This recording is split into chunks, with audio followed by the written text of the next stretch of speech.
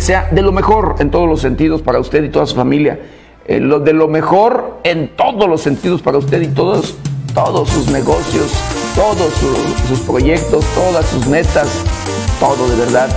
Este viernes, viernes 13 ya de noviembre, ya casi mitad de este, el onceavo, el onceavo mes de, pues, el 2020. Y bueno, la situación crítica, la situación difícil en todos los sentidos en todo nuestro país. Llámesele en temas financieros, en temas sociales, en temas de salud, en temas de educación, por supuesto, en temas en temas de corrupción y lo que nunca puede faltar y que va de la mano, la inseguridad. Imparable, imparable la ola de violencia en nuestro país, imparable la ola de asesinatos en todo nuestro país, imparable la muestra de músculo de los diferentes grupos criminales que operan en los diferentes rincones del territorio mexicano. Es triste y lamentable, pero es una realidad. Grupos criminales que incluso no nada más eh, tienen eh, en sus integrantes mexicanos, sí, ciudadanos de nacionalidad mexicana, sino también de nacionalidad extranjera, de diferentes países. Es triste y lamentable, de verdad. Triste y lamentable, pero en algunos lugares hasta ciudadanos de España, en muchos lugares ciudadanos de los Estados Unidos, por supuesto, bueno, hasta italianos, querido auditorio, sea, de varias nacionalidades que forman parte, parte de los grupos criminales. No se diga, por supuesto, de los centroamericanos, de estos países centroamericanos.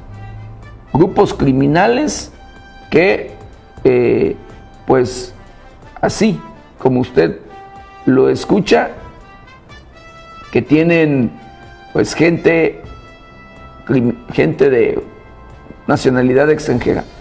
Y así, la estrategia de nuestro gobierno, pues sin dar resultados desde mi muy personal punto de vista. No sé usted cuál sea su opinión, qué, cuál sea su perspectiva, qué es lo que usted luego pues ve. Pero créame, sobre este tema, desde mi muy personal punto de vista, yo digo que no se está haciendo nada, que no está funcionando la estrategia que pues está aplicando, se está llevando a cabo en nuestro país. Es triste y lamentable, pero bueno, es una realidad. Vemos cómo luego los grupos criminales rebasan a las propias autoridades. El día de ayer, allá en el municipio de Cualcomán, en, ya colindando prácticamente con el estado de, Jalisco y Colima, eh, un grupo de, sí, de elementos de la Fiscalía General de Justicia del Estado de Michoacán, de este grupo de derechos humanos que hay en esta, en esta institución, pues bueno, fueron agredidos, fueron agredidos por grupos criminales, por criminales que incluso iban en convoy con eh, unidades de estas llamadas monstruos, ¿sí? de estos vehículos blindados de manera artesanal y así, dando muestra de músculo, desfilando, marchando, en los convoy eh, pasando por, por estos lugares allá en aquellos municipios. Y así, así como usted lo escucha, con la mano en la cintura, como luego se dice popularmente, agreden, imponen y pues dan a conocer que ellos son los que tienen el control, que ellos son los que mandan. Así como usted lo escucha, triste y lamentable. Y luego hemos escuchado las denuncias de los habitantes de aquellas regiones y de toda la región de Tierra Caliente en el estado de Michoacán, desde Apatzingán, Buenavista, ¿no? Aguililla, eh, Cualcomante, Palcatepec, todos esos lugares, eh, querido Victorio, que denuncian que estos grupos criminales luego son acompañados por autoridades ¿sí? por autoridades, incluyendo en estas últimas fechas a la propia Guardia Nacional. Imagínese usted, esas denuncias hechas eh, por los ciudadanos y que el gobierno no hace ni dice en lo absoluto nada, no habla en lo absoluto de ello. Están preocupados en otras cuestiones, en otras cosas, preocupados ver eh, todo el tema ya con miras al próximo proceso electoral eh, del 2021 y sí, haciendo aliados, haciendo alianzas con los propios criminales para que sean los grupos criminales, como lo han hecho en muchas de las ocasiones, eh, los que encaminen el voto hacia una, una preferencia, hacia un candidato, hacia el aliado, por supuesto, el candidato aliado de estos, de estos grupos. Así, lamentablemente, en el estado de Michoacán, así lo hemos visto. Y no nada más en el estado de Michoacán, en diferentes estados lo hemos visto. En diferentes estados eh, lo hemos visto, eh, querido auditorio, como es eh, en propio Sinaloa, en Guanajuato, en, lo hemos visto en Tamaulipas, en varios estados de la República, lo hemos visto en Guerrero, eh, en diferentes lugares. Los grupos criminales son quienes luego financian, quienes además de financiar, intimidan y conducen todo para que eh, el voto sea para el candidato aliado de ellos. Lamentablemente, esto es una realidad que se vive en los diferentes lugares, en los diferentes eh, rincones de nuestro país, donde los criminales han dado, repito, muestra de músculo, donde los criminales son los que tienen el control. Y esto, por supuesto, mientras no se acabe y se combata de fondo la corrupción, querido auditorio, esto seguirá. Esto seguirá. Así como usted lo escucha.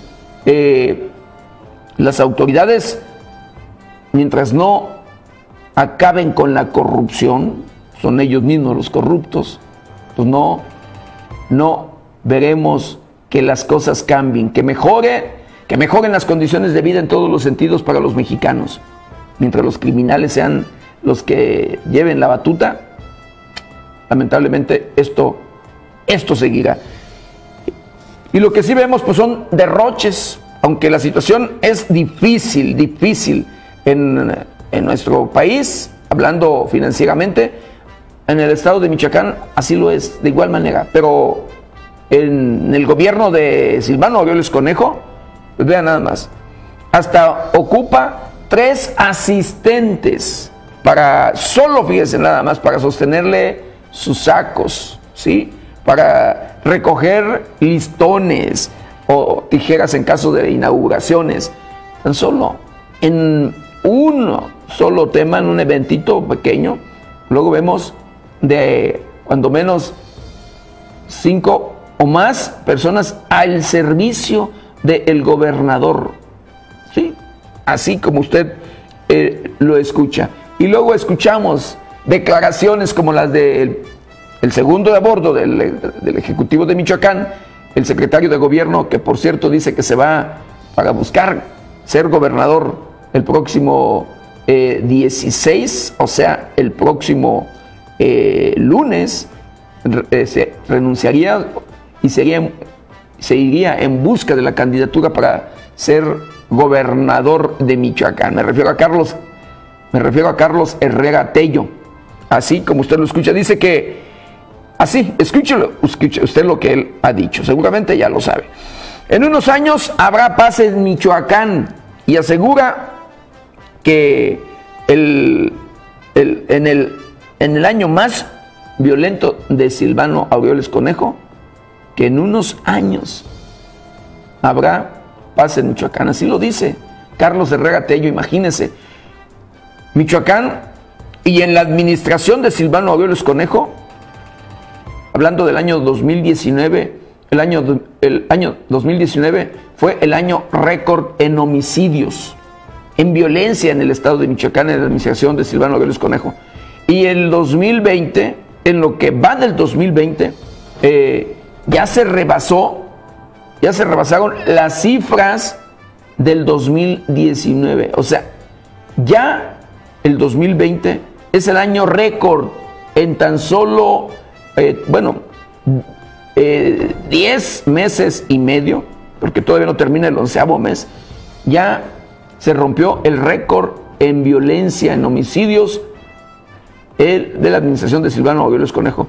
Y a esto agreguémosle de que no se cumple la ley en todos los sentidos, en muchas, en muchas cuestiones, querido Victorio, que incluso los propios empresarios tienen que ir, los empresarios michoacanos tienen que ir a la, en busca de la federación, en busca de la misma Fiscalía General de la República para que actúen y hagan cumplir la ley. Imagínense nada más.